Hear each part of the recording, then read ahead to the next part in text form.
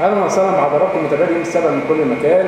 معاكم مكملين في التغطيه الخاصه عن حالة الطقس والموجة شديدة الحرارة اللي هتتعرض ليها البلاد بداية من اليوم وعلى آه، مدار هذا الأسبوع. مجموعة من النصائح والتعليمات الهامة اصدرتها هيئة الأرصاد للمواطنين خلال الفترة المقبلة. في بدايتها زي ما حضراتكم شايفين ضروره تجنب التعرض لأشعة الشمس فترات طويلة وشرب كميات كبيرة من المياه والسوائل وارتداء غطاء الرأس. تفاصيل هذه النصائح وتفاصيل الموجة نتعرف عليها أكتر آه، مع الدكتور محمود القياكي. بنرحب بحضرتك. أهلا بحضرتك وكل متابعي اليوم السابع. عايز حضرتك تكلمنا بقى عن آه، هذه الموجة اللي نتعرض ليها ذروة الموجة هتكون إمتى؟ وإيه أهم النصائح اللي نقدر نقولها للمواطنين؟ وسبب الموجة؟ كل كل الأسئلة دي اللي بتدور في ذهن آه، القارئ والمتابعين. عايز حضرتك تكلمنا عنها. بالفعل إحنا اعلنا في نشراتنا وفي تحذيراتنا تعرض البلاد لارتفاع تدريجي بداية من اليوم. كبداية لموجة شديدة الحرارة هتأثر على كافة مناطق الجمهورية بما فيها السواحل الشمالية ومحافظات الوجه البحري حتى القاهرة الكبرى وبالتأكيد محافظات جنوب الصعيد. الموجة دي تأتي نتيجة تغير في مصادر الكتل الهوائية قليلا.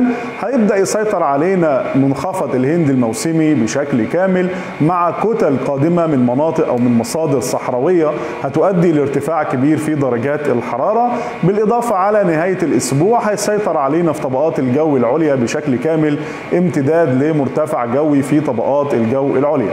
يمكن على مدار فصل الصيف تقريبا من بداية فصل الصيف أو كمان قبل بداية فصل الصيف دايما بننوه عن منخفض معروف جدا وهو منخفض الهند الموسمي.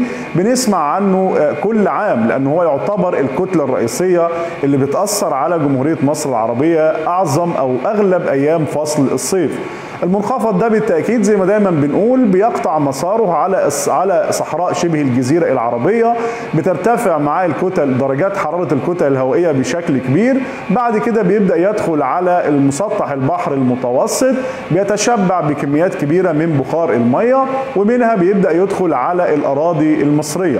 وبالتالي زي ما قلنا منخفض الهند الموسمي يعتبر من أهم الكتل الهوائية الرئيسية اللي بتأثر على مصر خلال فصل الصيف. أو أغلب أيام فصل الصيف لأن في بعض الأيام من فصل الصيف بيتراجع قليلا تأثير منخفض الهند الموسمي في مقابل سيطرة لمرتفع جوي يعرف بمرتفع العروض الوسطى أو مرتفع الأزور. ده بيجلب معاه كتل هوائية قادمة من مناطق جنوب أوروبا بتنخفض معها درجات الحرارة قليلا. يبقى ملخصا منخفض الهند الموسمي يعتبر هو اللي بيأثر علينا أغلب أيام الصيف. بالفعل خلال الموجة الحالية سيطره كامله لمنخفض الهند الموسمي مع كتل هوائية زي ما قلنا من مصادر صحراوية بالإضافة لمرتفع جوي أو امتداد مرتفع جوي في طبقات الجو العليا. كل ده بيؤدي إلى هذه الموجة شديدة الحرارة. يمكن هتبدأ الموجة اليوم بارتفاع طفيف وتدريجي عن الأمس. بالأمس سجلنا درجة حرارة على القاهرة 36 درجة مئوية في الظل خلال فترات النهار. وصلت لحدود ال 38 39 على شمال الصعيد وبالتأكيد أعلى درجات حرارة كانت على محافظات الجنوب. اليوم بترتفع درجات الحرارة عن الأمس بمعدل درجة لدرجتين. نقدر نقول إن العظمى المتوقعة اليوم على القاهرة ما بين ال 37 ل 38 بنشعر بها بسبب فعل الرطوبة كأنها 40 درجة مئوية. غدا الأربعاء. درجات الحرارة أعلى من اليوم أيضا بمعدل درجة لدرجتين. لكن ذروة هذه الموجة نهاية الأسبوع الحالي. بنتكلم عن أيام الخميس والجمعة. هتكون درجات الحرارة على القاهرة اللي هيتم تسجيلها في الظل ما بين ال 39 ل 40 درجة مئوية. ارتفاعات كبيرة بالفعل في درجات الحرارة عن معدلاتها الطبيعية بقيم تصل لخمس درجات. طبعا ال 40 درجة المتوقع تسجيلها نهاية الأسبوع بالنسبة للقاهرة. هنشعر بها وكأنها 42 درجة مئوية. كما هو معتاد محافظات الجنوب ليها دايما النصيب الأكبر من الارتفاعات دي وبالتالي جنوب الصعيد بنهاية الأسبوع هتكون درجات الحرارة عليه ما بين ال 44 ل 45 في الظل. هنشعر بها بالتأكيد أعلى من ذلك. ارتفاعات كبيرة في درجات الحرارة خلال ساعات النهار خلال هذه الموجة شديدة الحرارة بترتفع معها كمان درجات الحرارة الصغرى خلال ساعات الليل زي ما قلنا بسبب هذا التغير في مصادر الكتل الهوائية. أبرز النصائح اللي بنوجه المواطنين ليها خلال هذا التوقيت أو خلال هذه الموجة شديده الحرارة دايما بنأكد على تجنب التعرض المباشر لأشعة الشمس فترات طويلة خاصة فترات الظهيرة اللي بيكون فيها الإشعاع الشمسي في أعلى درجاته ودي بتكون تقريبا من الساعة 12 أو 1 الظهر لحد الساعة 4 العصر وبالتأكيد اللي هيضطر للخروج خلال هذا التوقيت بننصحه بارتداء غطاء للرأس يقي من أشعة الشمس وأيضا شرب كميات كبيرة من المية والسوائل طوال ساعات اليوم سواء خلال ساعات النهار أو خلال ساعات الليل. طبعا ارتفاع نسب الرطوبة كلنا حاسين بيه وبالتالي دايما بننصح بالتواجد في أماكن جيدة التهوية علشان تخفف شوية شعورنا بارتفاع نسب الرطوبة.